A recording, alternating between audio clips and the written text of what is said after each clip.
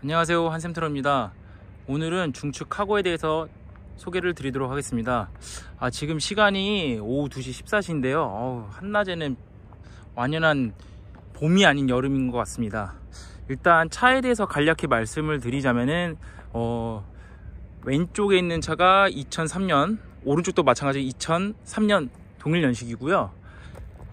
어, 큰 차이라고 보면은 뭐 디, 어, 챔버가 오른쪽에 있는 중추각형 챔버가 장착이 되어 있고 왼쪽에 있는 차는 챔버가 장착되어 있지 않습니다. 그거 빼고는 둘 다 뭐 225마력 동일하고요. 중축에 그리고 DPF까지 다 장착되어 있습니다. 그리고 갈빗대도 모두 보강이 되어 있어서 뭐 두 차 모두 중장비를 싣고 다니기에는 문제 없는 차량입니다. 우선 이 왼쪽에 있는 차부터 소개를 드리도록 하겠습니다. 뭐 외관은 매입해 와서 모두 다 도색을 해 놨고요.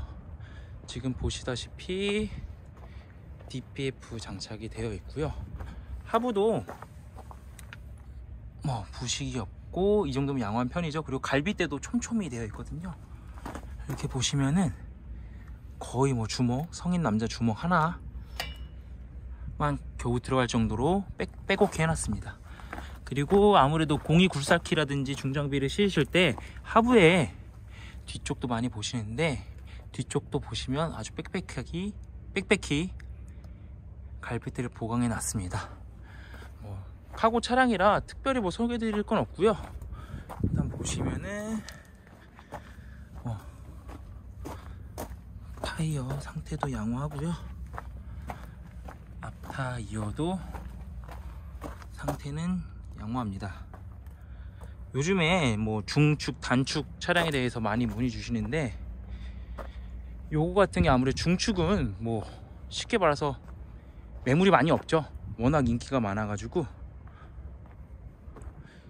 광고를 하면 바로바로 바로 연락 오는 추세입니다.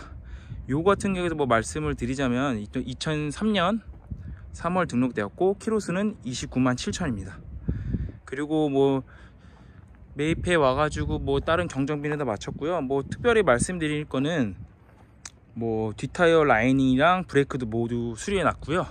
다시 한번 말씀드리지만 매연 저감 장치가 달려 있어서 뭐 대한민국 어디든 운행하는 데는 아마 문제 없이 운행하실 수 있는 차량입니다. 막간 이용해서 간략하게 중축 차량에 대해서 말씀을 드리자면 왜 225마력을 찾으시냐? 그거 같은 경우는 불안자 연소를 하거든요. 그러니까 쉽게 말해서 옛날 현대 트럭 한 2005년 전 255마력 같은 경우는 불안자 타입으로 해서 연소가 돼요. 그러니까 밟으면 밟는 대로 힘이 받아서 운행이 가능하거든요. 그래서 손님께서 225마력을 많이 찾고 있습니다. 다음으로는 우측. 예, 우측 차량에 대해서 설명을 드리도록 하겠습니다. 이것도 왼쪽에 있는 차량 뭐큰 차이는 없고요. 아까 말씀드렸다시피 챔버가 장착되어 있다는 게 큰 특징입니다. 챔버라 하면은 아무래도 경사로나 이럴 때 뭐 브레이크 그러니까 딱 힘을 받쳐줄 수 있다고 해야 되나요? 그런 부분이 있기 때문에 챔버가 있는 차량을 찾는 분도 많이 계십니다. 그래서 간략하게 뭐 보여드리면 챔버는 앞에 보시면은 이렇게 보이시나요? 네. 달려있는 건데 보통 같은 경 챔버가 없으면 이 볼트가 6개예요. 근데 챔버를 끼려면은 보통 챔버기 고정시키면 두 개의 볼트가 필요하거든요. 그래서 총 하나 둘셋넷 다여 일곱 여덟. 여덟 개가 장착되어 있으면은 챔버가 장착됐다고 쉽게 생각하시면 될 것 같습니다. 어, 왼쪽을 보면은 볼트가 여섯 개죠? 예. 그럼 이거는 챔버가 장착되지 않았구나 라고 보시면 될 것 같습니다.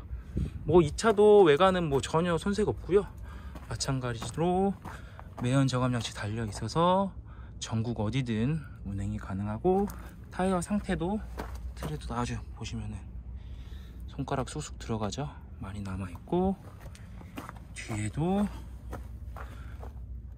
예 거북이 등껍질 같죠? 타이어 트레도 많이 남았습니다. 하부도 한번 보여드릴게요. 하부도 뭐 이것도 거의 성인 주먹 하나 들어갈 정도로 빽빽하게 되어 있고 마찬가지로 중장비를 실으려면 뒤쪽도 보강되어 있어야겠죠 예, 뒤쪽도 갈빗대가 촘촘히 보강되어 있습니다.